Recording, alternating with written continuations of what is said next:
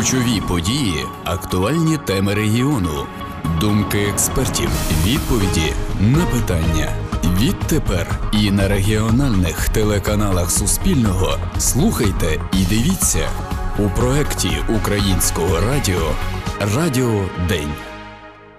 Вітаємо, друзі! Стартує телерадіопроект між нами. Поліна Сніжна, Юля Коробець з вами сьогодні в студії.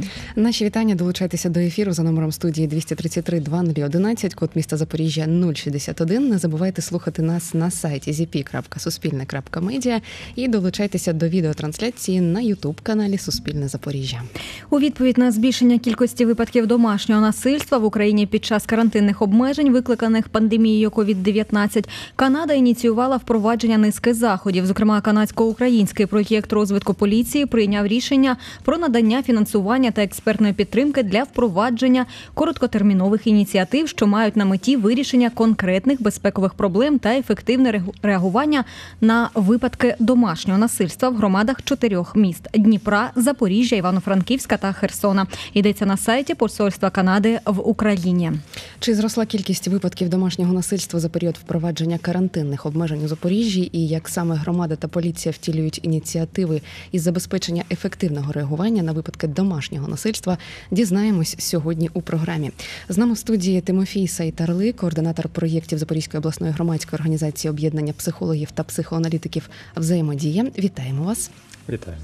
Та Ірина Сергієнко, начальник відділу зв'язків з громадськістю управління патрульної поліції в Запорізькій області. І вас вітаємо. Доброго дня, Ірино. І перше запитання, все ж таки до вас під час карантину чи побільшало у патрульної поліції викликів щодо скоєння домашнього насильства? Е, ну, хотілося б одразу сказати про те, що е, взагалі у національній поліції існує окремий напрямок група з реагування на факти домашнього насильства, яка е, безпосередньо реагує на будь-які виклики, які пов'язані з домашнім насильством. І приїздить на ці виклики і повністю обслуговує дані випадки. Щодо побільшили чи поменшило, ну ви самі розумієте, що під час карантину багато мешканців нашого міста знаходились у своїх домівках. Це е, ну не було ніякої соціалізації, тобто е, контактів там з друзями, з родичами, ну тривалий час. І тому. Е, такі випадки, на жаль, побільшали, їх стало трошечки більше. Тому тому патрульна поліція, національна поліція замислилися над тим, як попереджувати ці випадки.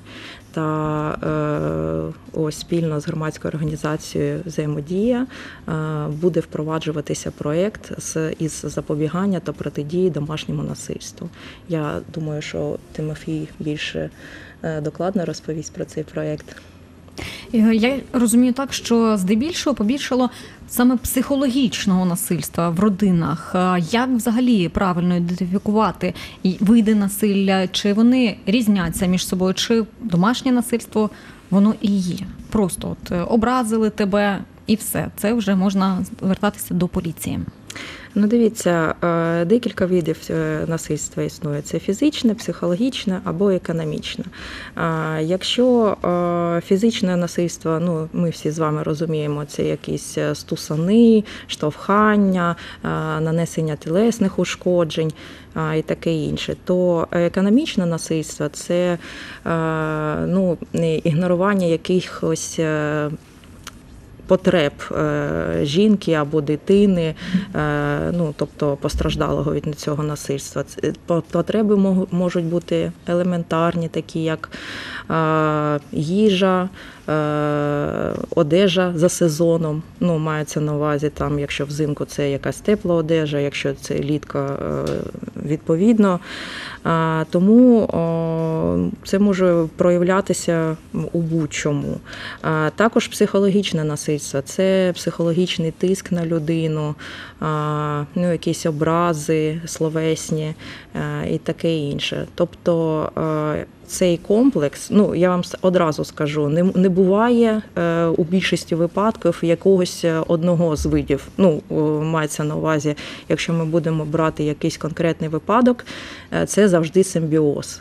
Тобто е, психологічне, фізичне насильство або е, економічне, фізичне. Но е, у більшості випадків поліцію вже викликають, коли є факт нанесення тілесних ушкоджень, тобто це фізичне насильство. Оксана пише: мої сусіди полюбляють хильнути і ледь не щовечора викликають поліцію. Інші сусіди потім розбираються і кажуть, що виклик хибний. Скільки хибних викликів, і чи дійсно поліція приїздить на всі, і чи є якийсь штраф за Дивіться, хибний виклик? Е, Так, а вже ж є е, адміністративна відповідальність е, за е, хибний виклик, але е, хотілося б одразу сказати: якщо сусіди викликають е, поліцію е, у зв'язку з тим, що якась там сімейна сварка, е, можливо, якась побиття, ну тобто відповідні звуки є. е, Моя точка зору на це, що люди правильно вчиняють. Чому? Тому що е, краще е, завадити цьому е, в, корінні, так скажемо, аніж потім ми приїжджаємо і там вже якісь ножові поранення або ще щось таке дуже страшне. Е, Тому треба реагувати, треба дзвонити. Нехай краще це буде хибний виклик, ніж взагалі замовчувати це, ніяким чином не реагувати. Ну, знаєте, як у нас кажуть, що нічого не знаю, моя хата з краю. Е, Це дуже погано. Е, Потрібно у будь-якому разі викликати поліцію, дзвонити на гарячу лінію 102. І е, якщо там дійсно ну, сімейна сварка, ніхто ніяких претензій один до одного не має, ну на цьому і точка. Ну але якщо е, дійсно якась е, є проблематика, е, ми проводимо аналіз, чи дійсно це є факт домашнього насильства, тому що дуже часто нам приходиться стикатися з такою проблемою, що частіше за все жінки, е, як то кажуть, не хочуть нести е, сміття із хати. Е, Тобто не Відмовляються від відмовляються від заяви, так е, не хочуть писати заяву на кривдника, на агресора, який е, чинить якісь протиправні дії проти неї або проти її дитини, ну мешканців взагалі цієї квартири або будинку. Пане Тимофію, ви хотіли щось Я додати? хотів додати, що до ідентифікації самого факту домашнього насильства треба розуміти різницю між домашнім насильством і звичайною сваркою. Відмінною рисою домашнього насильства є обов'язкова наявність агресора або кривдника і е, потерпілої або жертви. І е, завжди, завжди агресор, він кривдник, він прагне тотального контролю над, е, над своєю жертвою. Е, І використовують всі ці види насильства, про які казала Ірина, для впровадження цього тотального контролю. Коли ми говоримо, що е, потерпіла відмовляється від е, подання заяви і так далі, від, е, і не прагне якогось покарання для чоловіка, це часто буває пов'язане з тим, що наступає такий період вибачань, коли чоловік каже там або кривдник каже, що це було останнє, ти моя кохана, це більше не повторюється ніколи, то е, треба розуміти, що він, е, здійснюючи оці е, агресивні дії, отримав цей тотальний контроль над потерпілою. І після цього він ну, якби затихає. Да? І коли він бачить, що він втрачає цей контроль, то це, цей процес починається знову і знову. І треба зауважити, що ніколи ніхто не допоможе е, потерпілої позбавитися домашнього насильства, якщо вона сама цього не прагне. Є такий слоган розірви коло. Ми знаємо, що існує коло насильства, і якщо потерпіла сама не прагне розірвати це коло, то знаєте, як кажуть, е, допомагати потрібно тим, хто цю допомогу потребує і прагне її. Іван пише. От ви говорите, жінки, жінки страждають від насилля. У мене сусід через дві хати на вулиці потерпає від дружини, яка його гамселить, коли він трішечки хильне. Але він не скаржиться. Це дуже погано. Чому? Тому що, на жаль, е, насильство е, у більшості випадків, е, ми ж кажемо про статистику, у більшості випадків, на жаль, страждають жінки. Але також є випадки там, де страждають чоловіки. А чоловіку це дуже, як то кажуть, б'є по його самооцінці, якщо він. Буде Звернеться по допомогу. звернеться до так по допомогу до правоохоронних органів або до соціальних служб. Чому? Тому що ну так така ментальність нашої нації, що тут поробиш. Але не треба боятись, треба говорити про це, треба виносити це сміття з дому. І е, обов'язково е, і соціальні служби, є центри соціально-психологічної допомоги, е, там, де Психологи можуть е, працювати як з постраждалим від домашнього насильства, так і з агресором або агресоркою, ну у даному конкретному випадку. І е, ну, дійсно люди змінюють е, своє життя завдяки- таким центрам, завдяки- такій психологічній допомоги. Також, якщо, наприклад, даний конкретний чоловік не має якогось свого помешкання, може взагалі почати життя з нуля.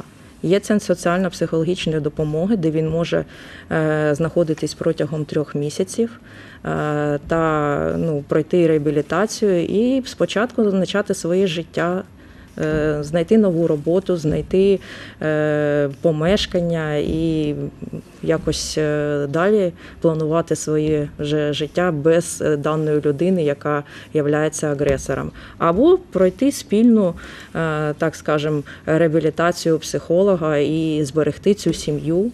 Але вже, е, як то кажуть, е, зовсім в іншому ракурсі, там, де нема агресії і ну, вже немає ніякого, ніякого постраждалого або агресора. Пане Тимофію, що Я хотів додати, що правильно сказала Ірина, що частка чоловіків, які страждають від домашнього насильства, незрівнянно мала. Тому е, так сталося, що ми кажемо, жінки, жінки потерпають від домашнього насильства. Е, в нашій організації ми створили е, денний центр соціально-психологічної допомоги для людей, які страждають від домашнього насильства. І в нас є випадки, е, коли чоловіки звертаються по допомогу. І потерпають від домашнього насильства з боку, з боку Своїх дружин. дружин. Да. І як Ірина сказала, то відіграє роль наявність цих стереотипів, якими ми керуємось під час свого життя. Якщо жінка не хоче виносити ссор зі зби, да, сама винна, чому її привчають з дитинства, там, да, е, там, стерпиться, слюбиться і так далі. А чоловіки, в свою чергу, повинні бути мужніми і сильними. І який ти чоловік, Чоловіки якщо ти страждаєш так, якщо жінка тебе побила. Тож цю позбавлення від цих стереотипів, від суспільного осуду е, насправді допомагає людині позбавитися домашнього насильства. Кривдники несуть певну відповідальність за скоєне насильство як кримінально, так і адміністративно. Саме про це у нас є коментар Антоніна Шостак, адвоката, голови правління громадської правозахисної організації Егіда Запоріжжя.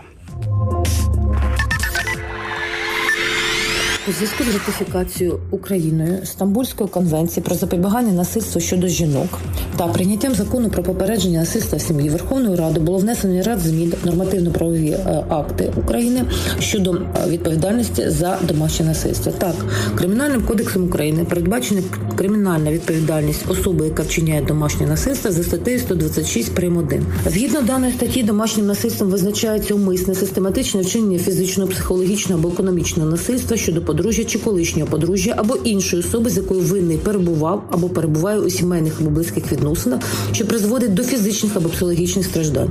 Відповідне покарання, яке передбачено вказаною статтею, передбачає громадські роботи на срок від 150 до 240 годин, або арешт на строк до 6 місяців, або обмеження волі на срок до 5 років, або позбавлення волі на срок до 2 років.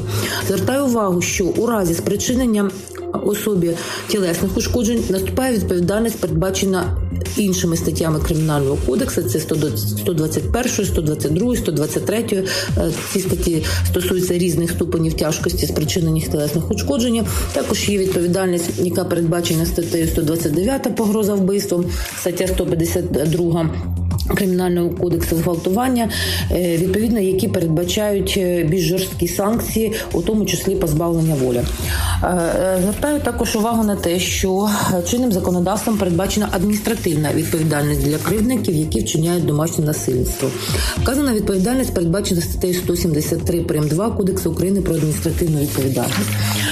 Вказана стаття безпосередньо стосується вчинення домашнього насильства, насильства за ознакою статі і невиконання термінового забороненого припису, який безпосередньо е, оформлюється працівниками поліції. Е, Санкціями е, статті частини першої статті 172 прим. 2 передбачено накладення на кривдника штрафа у розмірі від 10 до 20 неоподаткованих мінімум доходів громадян. Це від 170 до 340 гривень. Громадські роботи на срок від 30 до 40 годин або арешт адміністративний 7 днів. Ми слухали коментар Антоніни Шостак, адвоката голови правління громадської правозахисної організації Егіди Запоріжжя про відповідальність, яку несуть кривдники за скоєне насильство. А чи збільшуються ці санкції і ця відповідальність, якщо насильство скоєно вже не вперше, і ви теж е, хотіли прокоментувати цю думку?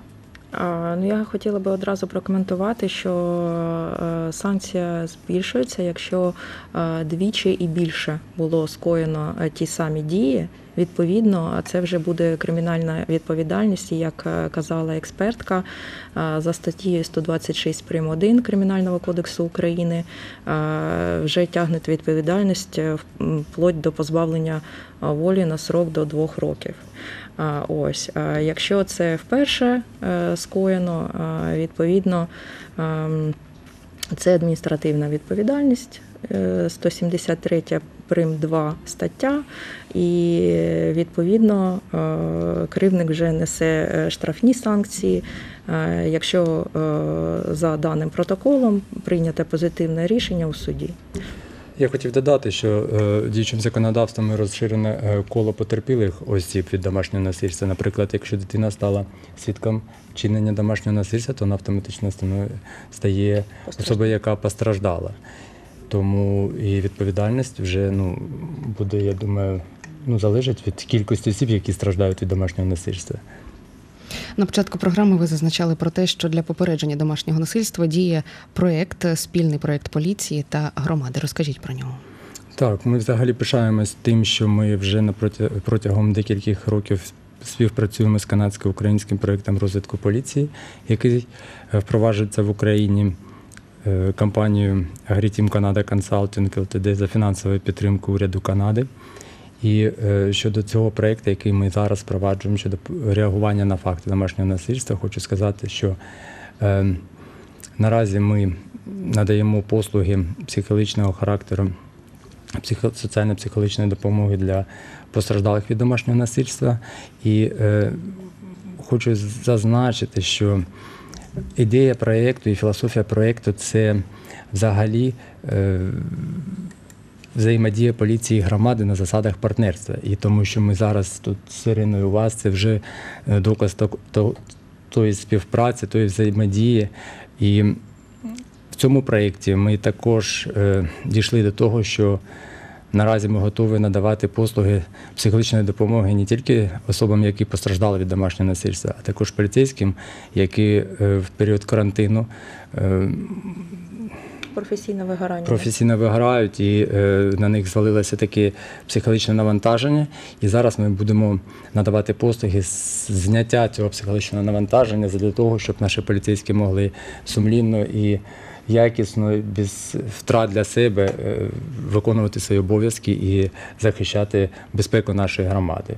Тимофій Сайтарли та Ірина Сергієнко у нас в студії. Друзі, долучайтеся до обговорення. Можете під анонсом у Фейсбуці залишати свої коментарі. Обов'язково їх зачитаємо нашим сьогоднішнім гостям. Вони прокоментують, як це було вже на початку програми. Тож чекаємо. Які права та обов'язки має поліція, особливо патрульна поліція, під час виклику на скоєння насильства? Коли групи з реагування на факти домашнього насильства е, приїздять на виклик, то е, вони проводять е, опитування, опитування постраждалої. Ну, частіше за все, як ми вже казали, це була жінка.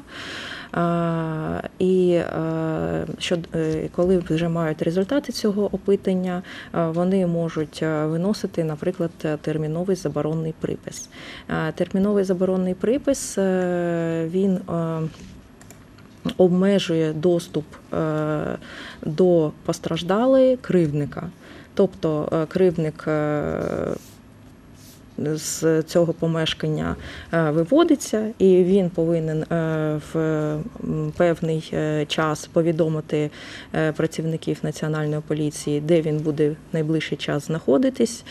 Йому забороняються, забороняються будь-які контакти з постраждалою, тобто це і телефонні дзвінки, і смс-повідомлення, ну, щоб жінка могла прийти до тями і протягом 10 днів найближчих е, не контактувала ніяким чином з агресором. Пане Тимофію, а викликають, е, наприклад, представників вашої громадської організації, поліцейські, коли приїжджають на виклик, ну або безпосередньо постраждалий чи агресор, наприклад, допомогти. Знаєте, е, я хочу зазначити, що ми реалізували вже декілька проєктів спільно з патрульними поліцейськими, і ми забезпечили патрульну поліцію такими картками. Перенаправлення ми їх називаємо з інформацією, з інформацією про організації і служби, які можуть допомогти е, постраждалим від домашнього насильства. І ми, звичайно ж, ми отримуємо е, і дзвінки, і звернення і патрульних поліцейських, і працівників національної поліції е, про те, що ну, певні люди потребують е, психологічної допомоги. Ну, це стосується і жінок, і чоловіків, до речі, і дітей е, також. Тож, ем, тож ми залюбки ну, допомагаємо і на звернення реагуємо миттєво, і ми ну, жодного разу ми не відмовили, проте ми ще е, допомагаємо не тільки психологічно, а і юридичні консультації надаємо, надаємо постраждалим, як позбавитися кривдника в законний спосіб. Так. Тож ми співпрацюємо. Якщо е, люди стали свідками, е, ми говорили про те, що сусіди викликають, е, оскільки у нас був коментар. Якщо, наприклад, перехожі стали свідками десь в квартирі гвалт якийсь, але не розуміють де, чи викликати поліцію, що робити, як діяти в такому випадку? Е, Я одразу хочу сказати: якщо е, ви не знаєте, що там дійсно відбувається, краще викликати поліцейських, ніж е, проігнорувати цю ситуацію. Чому? Тому що дуже часто ігнорування призводить до дуже жахливих наслідків. Тому я, користуючись цією можливістю, зв- звертаюсь до всіх: не ігноруйте, дзвоніть. Е, І як я вже зазначувала, краще це буде е, якийсь е, виклик, який там ну нічого страшного не відбувається, да? ну і ок. Аніж ми доведемо цю ситуацію до якихось летальних наслідків.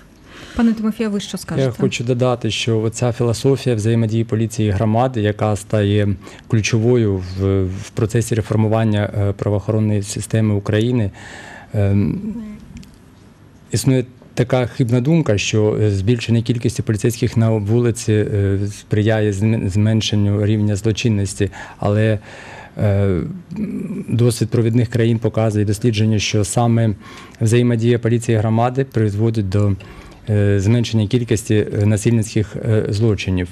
Тому, якщо громада буде більш Активною. активно да, взаємодіяти з поліцією, то це створить такий, Менш знаєте, собі, да, це створить такий так званий ефект постійної присутності поліції, коли і кривдник, і постраждалі, і е, свідки будуть знати, що поліція десь рядом, і це зменшує рівень злочинності. У нас залишається буквально 30 секунд. І ще є одне питання. Дуже важливе питання: куди звертатися людям, якщо вони стають жертвами насильства? Що треба пам'ятати?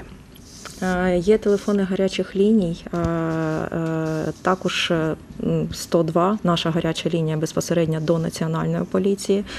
Також є спеціальна гаряча лінія 116-123. Е, Можна звертатися туди, туди із мобільного, це безкоштовно. 116-111 це для дітей. Ну і а вже ж ви можете зараз усі у нас інтернет активні. На сайтах знаходити е, соціальні служби, центри соціально-психологічної реабілітації та безоплатної вторинної допомоги, якщо ви потребуєте. Пане Тимофію, два Наці- слова буквально. Національна гаряча лінія з фактів реагування домашнього насильства 1547 вона працює. Тож, друзі, запам'ятайте ці номери телефонів. Ну або дивіться і переслухайте, передивіться нашу програму, аби їх запам'ятати. Залишимо в коментарях так само. Сьогодні ми говорили про домашнє насильство за період впровадження карантинних обмежень. З нами були Тимофій Сайтарли, координатор проєктів Запорізької обласної громадської організації об'єднання психологів та психоаналітиків взаємодія та Ірина Сергієнко, начальник відділу зв'язків з громадськістю управління патрульної поліції в Запорізькій області. Дуже вам дякуємо. Юлія Коробець, Поліна Сніжна. Побачимось і почуємось на Суспільному. Ключові події, актуальні теми регіону, думки експертів, відповіді на питання. Відтепер і на регіональних телеканалах Суспільного слухайте і дивіться у проєкті Українського радіо Радіо День.